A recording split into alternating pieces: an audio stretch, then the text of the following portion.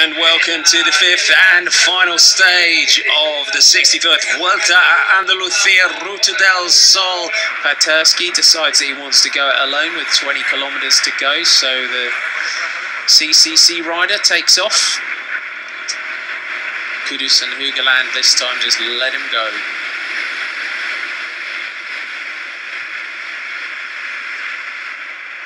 He's been uh, trying to do this for a while. 35, uh, 35th overall, 14 minutes and 11 seconds down is Maciej Paterski. Respect to Maciej Paterski, tries to hang on to take the stage. Big attack goes in here from Top Sport Vlaanderen as this Edward Theuns, making his move. So big, huge effort now by the Top Sport Vlaanderen rider. Looks back over his shoulder. It is Edward Theuns, number 145 that goes, goes early.